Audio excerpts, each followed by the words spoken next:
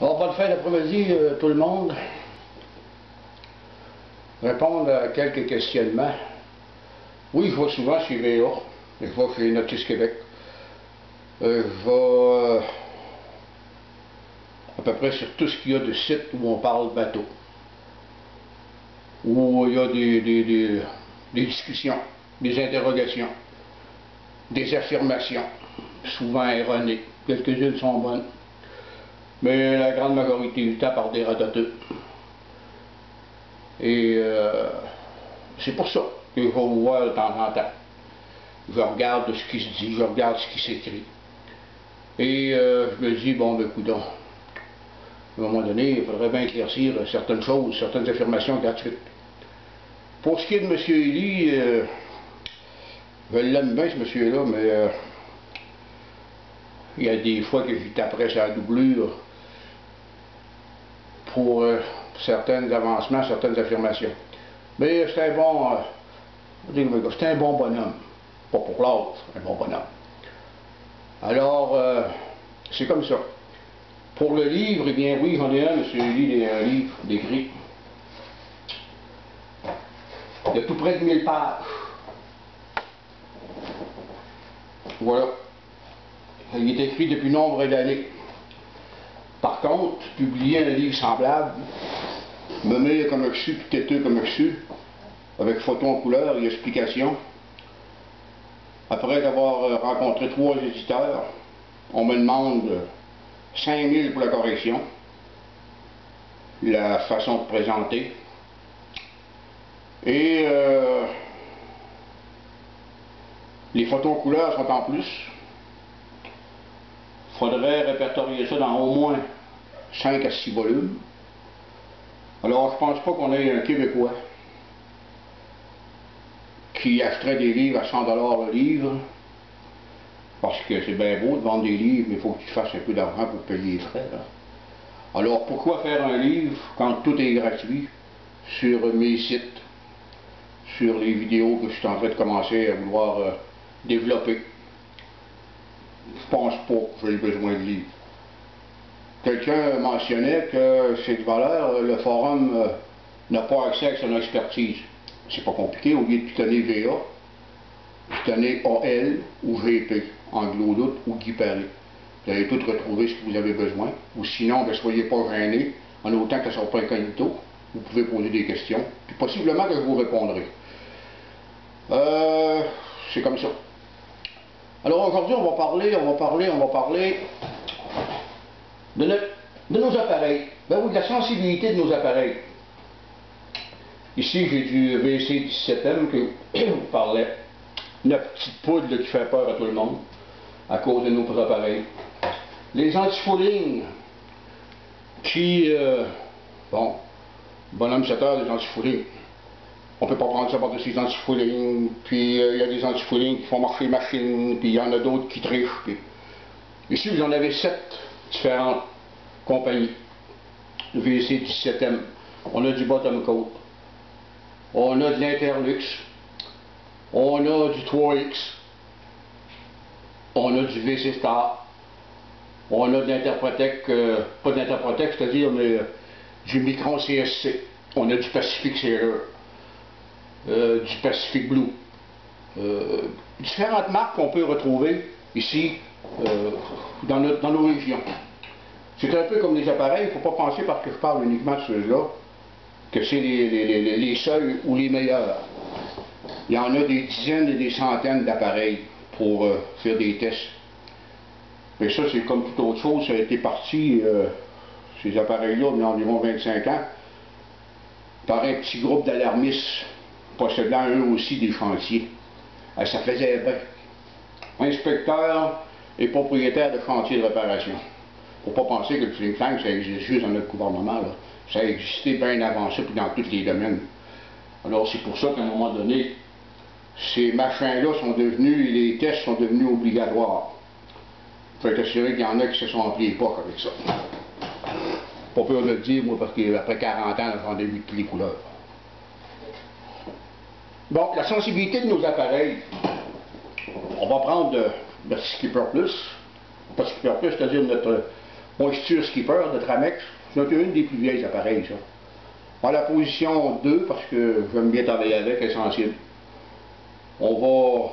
Ça, c'est une pièce en fibre de verre.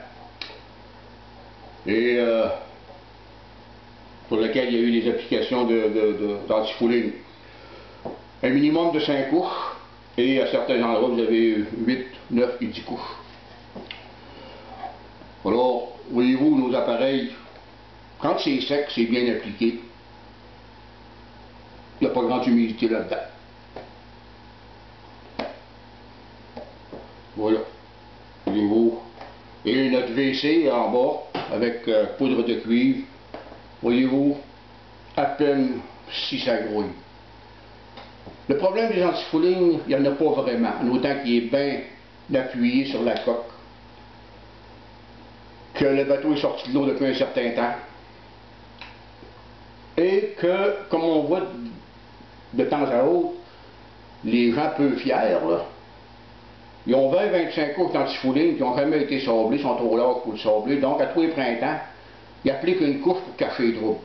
À un moment donné, appliqué sur la base, appliqué sur la mousse, appliqué sur le varette, ce que ça fait, ben, il y a des vides dans le sourd, il y a des anomalies, il y a des espaces, c'est pas adhéré comme il faut sur la dans le sourd, où vont, euh, ils sont tellement tannés d'en mettre qu'ils vont changer de sorte à tous les ans, changer de marque. Puis, euh, sans prendre les précautions de voir si c'est compatible, si ça va ensemble, ou si euh, un bon sablage ou autre. C'est ça le problème. Alors, des fois, quand le bateau a passé l'été à l'eau, l'eau s'est euh, infiltrée entre les couches de laminé d'antifouling. Et, euh, bon, je vais faire des tests, puis ça va indiquer que c'est humide. Alors là, ça peut être nécessaire de, de sabler complètement pour aller retrouver le gel coat la fibre, afin de voir si le dommage est dans l'antifouling entre l'antifouling ou dans la coque quelque part. Pour en revenir à notre sensibilité, on va, euh, prendre un autre appareil. Montrer qu'il fonctionne tout. Alors on fait nos tests. Voyez-vous notre WC 18 avec poudre là, il nous indique une petite lecture. On n'a pas de problème euh, avec cette petite lecture-là. Là. C'est euh, on, peut passer outre. Alors on s'en vient tranquillement, voyez-vous, on a un autre ici. Bon. Ici on n'en a plus. Ici on n'en a presque plus. Ici non plus. Ici non plus. Et euh, ici non plus. On s'en vient ce sens-là, puis... Oh! Ici on a une lecture, on va le voir tantôt. Quoi? Oh, on en a un autre on la perd, on la perd, on la perd. Dans nos lectures, les mêmes euh, avant, on va essayer l'autre aussi, dans les instruments les plus utilisés. Voyez-vous, lui, il détecte un petit peu sur le WC euh, avec la poudre de cuivre?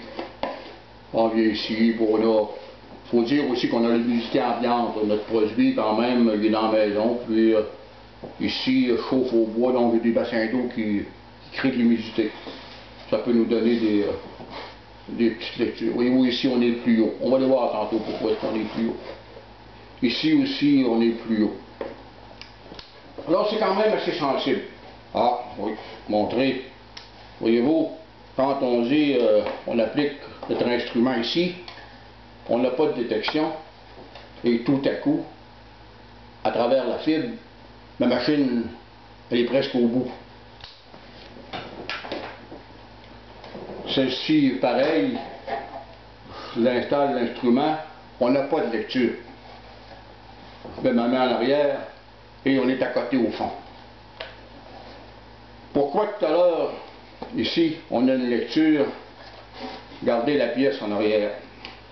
C'est pour euh, imiter ou faire voir qu'on aurait euh, un membrage à l'intérieur, une structure recouverte de fibres dans laquelle il y a du, euh, du venir, du contreplaqué.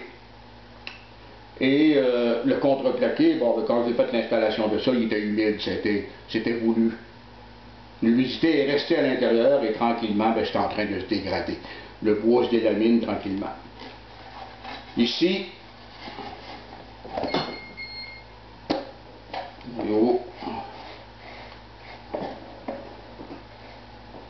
on a une petite lecture, mais on va y aller avec celui-ci.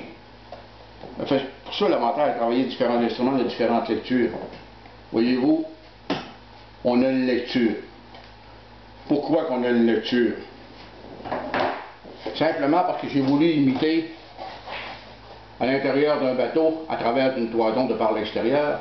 Des fois, on a des réservoirs en aluminium, il y en a en plastique, et ils sont presque à côté sur la coque. Cette pièce d'aluminium-là, là, pour imiter un réservoir, elle est isolée, là. Elle est isolée avec des faumes. Donc, elle ne touche pas à notre, à notre balsa. C'est pour imiter une, coque sandwich, si on veut. Gel antifouling, gel côte, fibre de verre, pièce de balsa, fibre de verre, isolant et notre aluminium. Alors, qu'est-ce qu'on a dit tantôt? La différence, c'était simplement le réservoir qui est à l'intérieur. Et si ce réservoir aurait été plein d'essence, plein d'eau, ou euh, les, réservoirs euh, de septiques, on aurait eu une lecture encore plus haute, plus avancée. Donc c'est ça la sensibilité des instruments.